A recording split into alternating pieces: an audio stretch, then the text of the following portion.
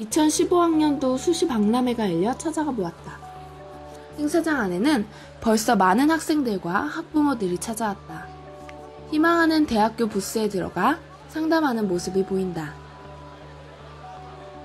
학부모들도 자녀들의 수시 입학 문제로 입학 관계자와 상담하는 모습을 볼 수 있었다. 많은 학생들이 수시 입학과 관련된 책자들을 보고 있다. 각 대학교 부스에는 이처럼 많은 홍보 책자들이 놓여 있다. 하지만 많은 대학에서는 부스 앞을 지나가는 학생들과 학부모들에게 무분별하게 책자를 나눠주는 모습을 볼 수 있었다. 책자들을 유심히 보는 학생들도 있었지만 손에 들고 있기만 한 학생들도 많이 보였다. 점점 많아지는 홍보 책자들. 양손 가득해지는 홍보물들 때문에 힘들어 보이기까지 했다.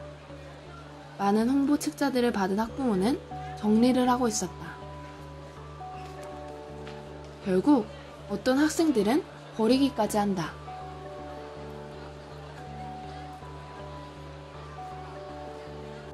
박람회장 이곳 저곳의 책자를 수거하는 통에는 제법 많은 양들의 홍보 책자가 일반 쓰레기와 같이 쌓여 있었다.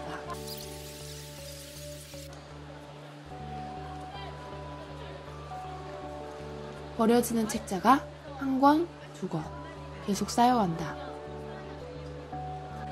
박람회장을 찾은 학생들에게 홍보하는 것은 좋지만 단순히 지나가는 학생들이나 학부모들에게 무분별하게 나눠주는 홍보 책자는 짐으로만 느껴졌다.